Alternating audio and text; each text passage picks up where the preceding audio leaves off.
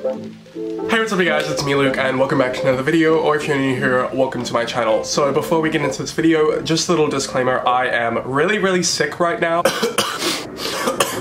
Um, anyway, so if I cough or if I sneeze or if I, I don't know, just die, um, that's why. Okay, cool, moving on. So today's video is a follow-up video to a video I made a few days ago. That video was titled Everything Wrong with James Charles and Did Tati Westbrook Just End His Career? If you would like to watch it, I will go ahead and link it down below. However, this video is a follow-up to that video and a lot of my thoughts and opinions have changed. Now, if you've been keeping up with this drama, which by the way, this will be the last video I make on it. It's the second and the last because I just can't. I honestly don't understand how drama channels do it it's exhausting. Like one minute you say something, the next minute more information comes out and your opinion completely changes. It's honestly ridiculous. I was gonna make a video about this yesterday, but I knew that Jeffree was coming out with a video, so I wanted to watch that first so I could give you my concluding thoughts. His video just came out a couple of hours ago. I've been processing that and processing his video, Tati's videos, James' videos, and trying to come up with my concluding thoughts. And today I thought that I would go ahead and make a video about how toxic the beauty community is and expose every single one of those motherfuckers. So today we will be talking about Tati Tati Westbrook,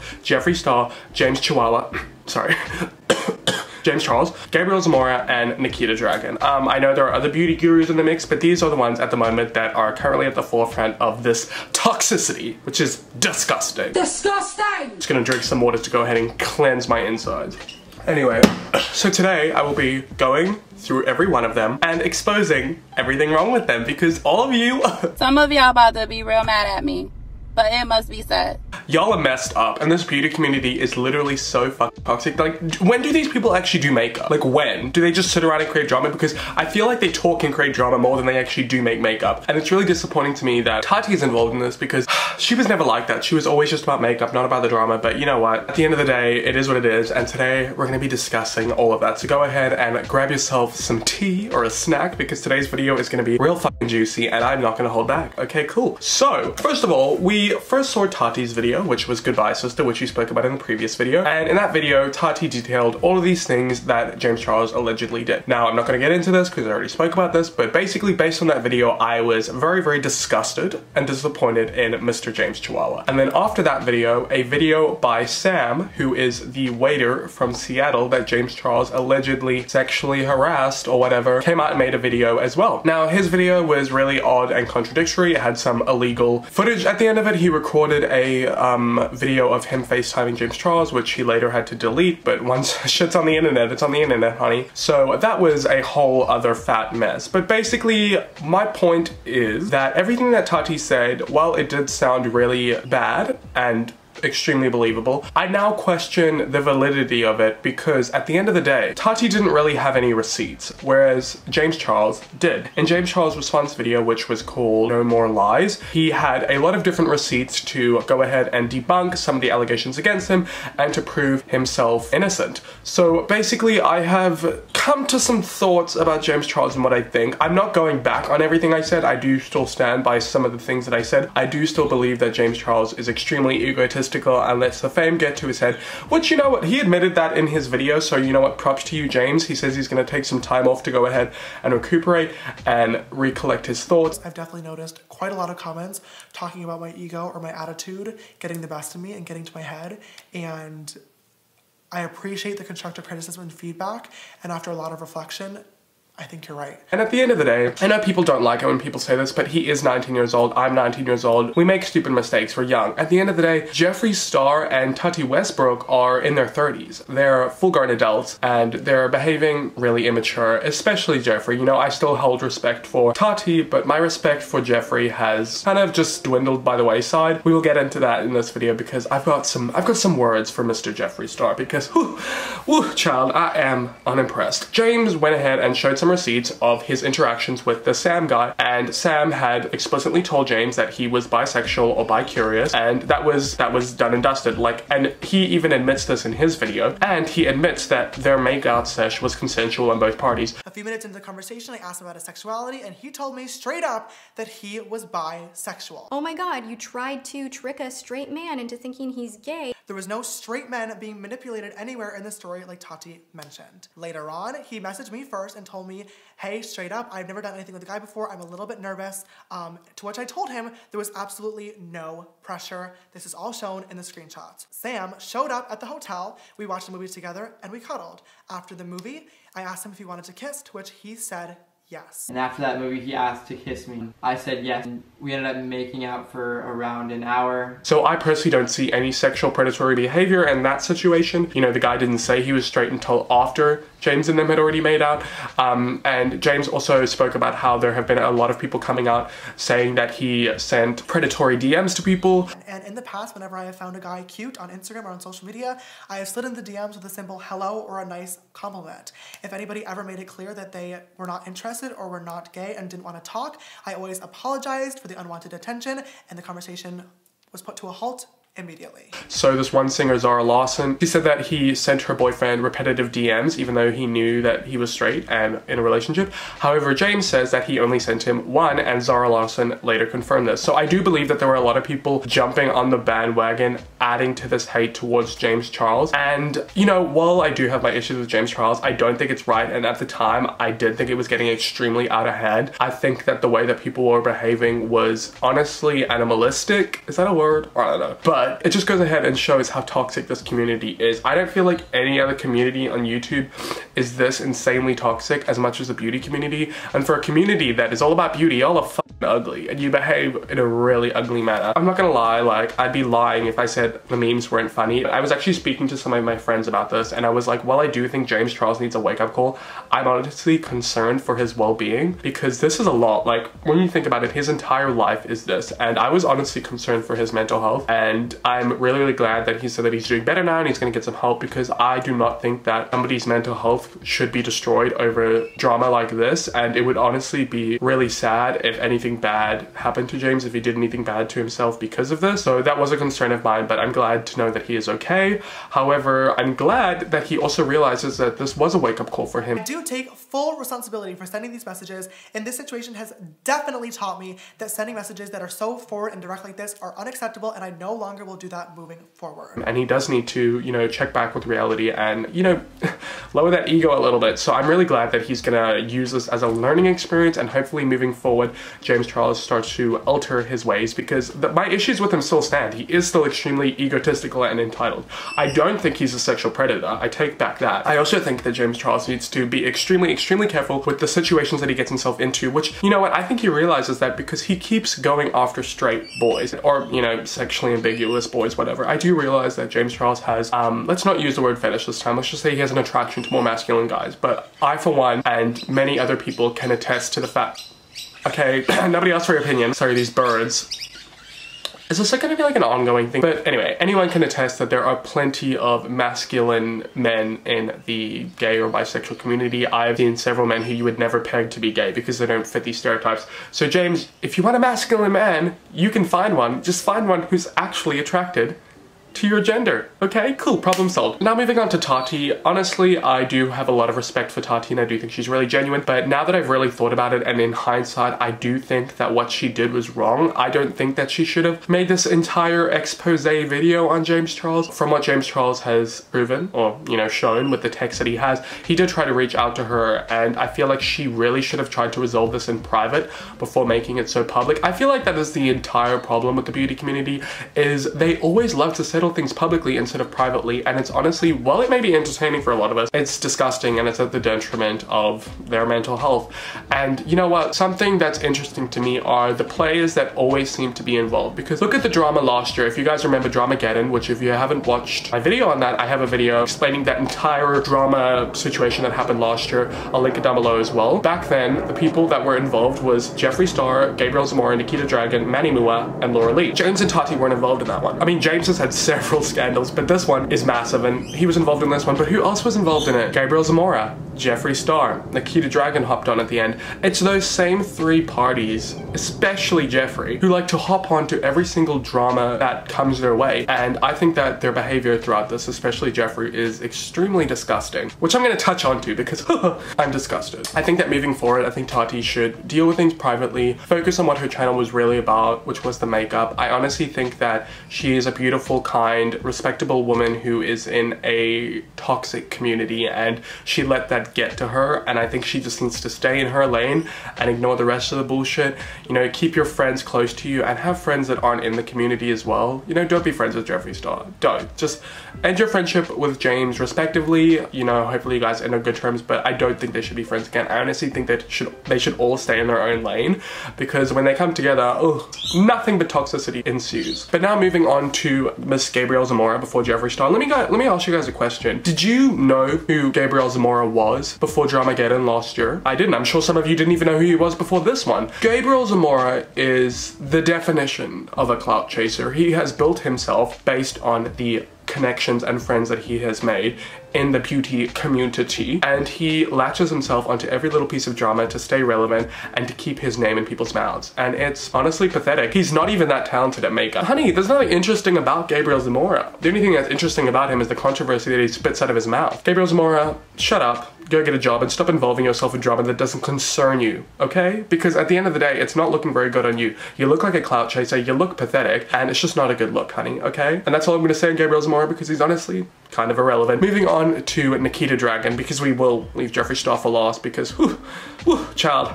I got some things to say. Nikita Dragun, honestly, sis, you got away with Dramageddon last year. You know, your tweets were surfaced and you made some excuses like, oh, I'm a different person now. I'm completely transitioned physically and mentally, blah, blah, blah. You still made the racist tweets. You still did it, okay? Instead of just making excuses, just apologize and move on, okay? I feel like, why do they always feel like they need to defend themselves? You can't defend racism, okay? Just apologize, say you've changed, and move on, okay? But she pretty much got out of that scot-free and now this time she came out with some messages with the Sugar Bear hair situation with James and people were saying that those messages were fake. I don't really know if they are or aren't. They seem to check out, but who really knows these people? I think they're all very smart and very calculated. But my issue with Nikita is how much of a terrible friend she is. She made a video that was literally all about her Dragun Beauty line, which by the way, I'm so fucking sick and tired of hearing about her makeup line. You've got two products, honey. You've got a color corrector and you've got a highlighter. Like, you're not the first person in the game. She thinks that she's so revolutionary. Honey, pipe the down, okay? There's other people out here with an entire makeup line. Your makeup line isn't that interesting. I'm tired of hearing about it, okay? But anyway, she clickbaited her video with called What Really Happened dot dot dot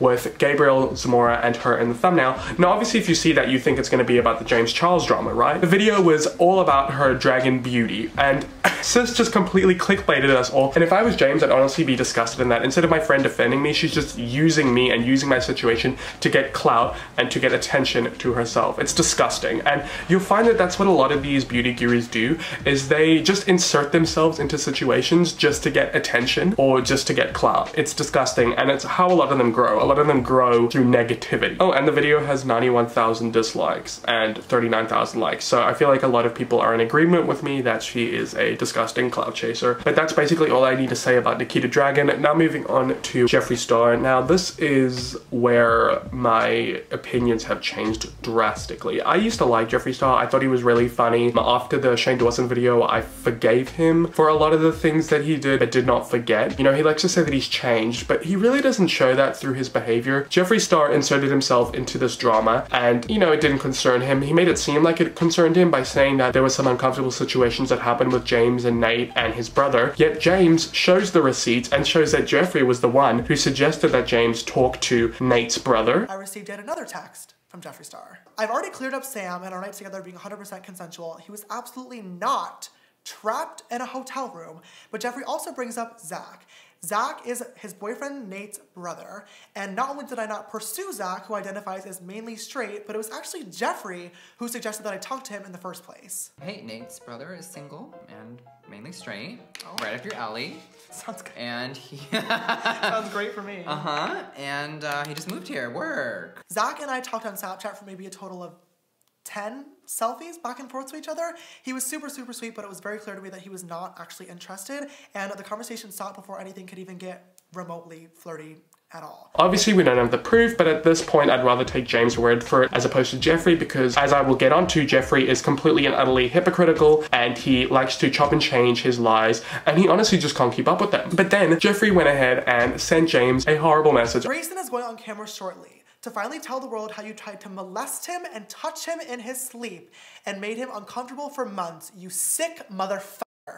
Next, Zach will be going on camera to tell how twisted and sick you were, trying to get him to like you and then make him feel bad when he didn't want to send you photos back.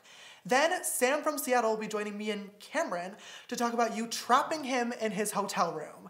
You need to be locked in prison for a very long time. You need the internet taken away from you. You are a danger to society. So yeah, that was a lot. Um, Jeffree, those are some serious allegations. And on top of that, James' brother Ian Jeffree made a tweet regarding something that was going on in his hometown, like somebody was bullying him or whatever, and Jeffree just assumed that it was about the James situation and completely attacked this 17-year-old, saying, um, your brother's a predator, shut the fuck up, all this bullshit. Like, Jeffree Star is in his 30s and he's attacking a 17-year-old online. You are a cyberbully. That is what you are. And he apologized for it. But at the end of the day, how many times is this person going to apologize before they actually start to change. You know, Jeffree just keeps doing these horrible things and he just apologizes and the internet just forgets about it. But I'm not forgetting anymore. You know, I did it before. I'm not gonna do it anymore. And I'm not telling you guys what to do, but I hope you guys really think about why you support Jeffree Star and if you should, because some of the things that he does are really, really shady. We've seen what he's done in the past. We've seen the racist things that he said in the past. We've seen the fights that he's had with previous people. You know, he, he always seems to be involved in drama. And in his recent video, which he just posted, which was called Not Anymore or some shit like that, he basically just said in that video that he was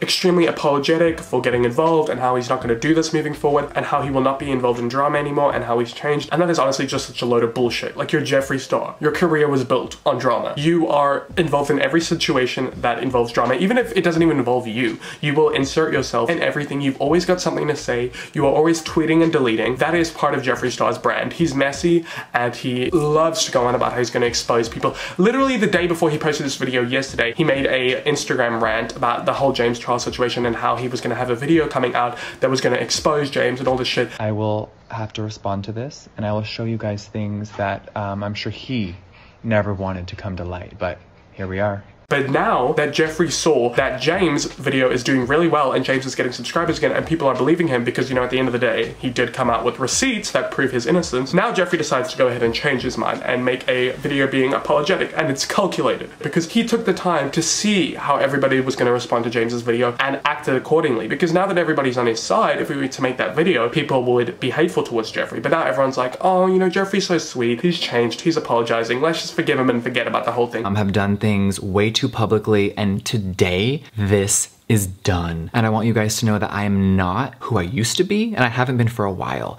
So I'm not going to play the games that I started to play because that's not me. I'm now ready to deal with this privately. And I know that's shocking because I've made things so publicly and it has just hurt too many people. So You don't get to just say, let's forget about the whole thing when this has been going on for this amount of time and you've dragged it out and you've said some really serious things. The allegations that Jeffree Star made were extremely serious. He was calling James Charles a sexual predator and saying he deserved to go to jail. Now, why this is also hypocritical is because some tweets have come out of things that Jeffree Star has said. And the thing is, Jeffree Star can delete these tweets, but the screenshots will always exist. People will always know what you said. He made some tweets about Justin Bieber's dick, like, oh, I wonder how big it is, when Justin Bieber was 16 and Jeffree was 24. That is disgusting. That is illegal. That is predatory. He was a child. He was a minor, and you're saying those disgusting things about him. Unacceptable. And there was a video of Jeffree grabbing some guy's crotch. He literally has a song called Straight Boys where he speaks about all the things he wants to do to straight guys. It's insane to me how much of a hypocrite Jeffree is towards this whole James situation when this is literally what Jeffree did. James and Jeffree's careers mirror each other so much, it's insane. I don't know if Jeffree has some sort of hatred towards James because he sees himself in him, he sees the things he doesn't like in James, but besides that, honestly, the two-facedness of it all, all of these people are so two-faced. You saw, if you watched James's video, you saw in the video how Jeffree was saying that he banned James from his home in February, but then he's sending him these lovely messages in April like, oh my god, I miss you, I can't wait to see you. Jeffree posted this tweet claiming he hadn't seen me since February and that Nate banned me from their home. Now, this so-called ban is the first time I'm ever hearing of this, and I just think it's really funny that Jeffree brought this up, considering the fact that he's tweeted me twice in between February and now saying that he missed me. Like, make up your mind, bitch. like, one minute you're saying this, the next minute you're saying this. It's honestly pathetic. And that's pretty much what this is. I'm not gonna generalize it, but the key players in the beauty community, the ones that I've listed in this video, Jeffree Star, Gabriel Zamora, and Nikita Dragun, are toxic, are hypocritical, and are disgusting, and their behavior is calculated. And they're manipulative. They are so smart, guys. They know exactly what to do to turn you guys around and get you on their side. And they manipulate their audiences. And it's disgusting. It's petty. They're two-faced and the way they behave is despicable. I do have hope for James Charles. I'm sorry. I'm pretty much done with Jeffree at this point. His behavior is disgusting. I'm not going to get into the rest of it. There's plenty of videos out there. You guys want to see what he's done and what he said. But if you've watched James's video, you know what I'm talking about. But Nikita and Gabriel, they're irrelevant. They're clout chasers. They're just whatever. Like who gives a shit at this point? They don't offer anything interesting. But James, on the other hand, I do think he has a lot of learning to do, a lot of growth, and I, I have some faith in him. So I will be following his journey. I guess I'm basically a sister again, but I'm not gonna forget. You know, I always say forgive but don't forget. I forgive letting his ego get to him because he is so young, but I'm glad that he has shown a willingness to improve and to change, and I'm glad that he gave us some receipts because that's what all of this was lacking. Everybody made a lot of strong allegations, but there were no receipts to back it up. Now that we've had this, hopefully the situation can be put to rest, but I do hope that people hold Jeffree accountable because he always gets away with shit scot-free, and people really need to stop supporting Nikita and Gabriel because their behavior is disgusting. Tati and James, hopefully they take a break, hopefully they do well, and hopefully James really is more grateful for what got him to where he is, and he's not gonna let his ego run his life. But anyway guys, that's it for me in this video. I really hope you enjoyed it. I'm sorry my thoughts were like all over the place, but I just wanna go ahead and wrap up my thoughts on this because out of all the stuff that has come out since I made my last video, I felt like I really needed to give you guys my concluding opinions and thoughts, and yeah, that's exactly what I did. So I hope you enjoyed this video. If you did, please give it a thumbs up. Comment down below what you thought of it. I'd really love to hear your guys' thoughts. I'm really not gonna make any more videos about this drama situation. I really prefer doing my critique videos, my commentary videos. If you haven't seen my one about the diversity and the drama with Dote, I will go ahead and link it down below. But yeah, guys, that's it for me in this video. If you're new here, make sure you subscribe, turn on the post notifications bell, and all my social medias are just linked down below as per usual. Anyway, guys, that's it for me in this video. I really hope to see you in my next one, and I hope that you have a great day or night wherever you're on the world. Bye!